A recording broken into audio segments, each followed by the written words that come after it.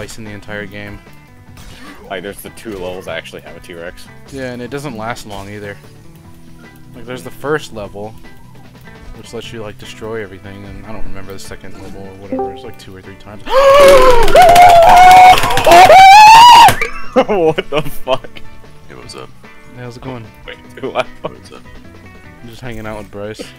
You want to join us or, or nah? Uh, I'm eating pizza because I forgot we were having dinner. It's fine.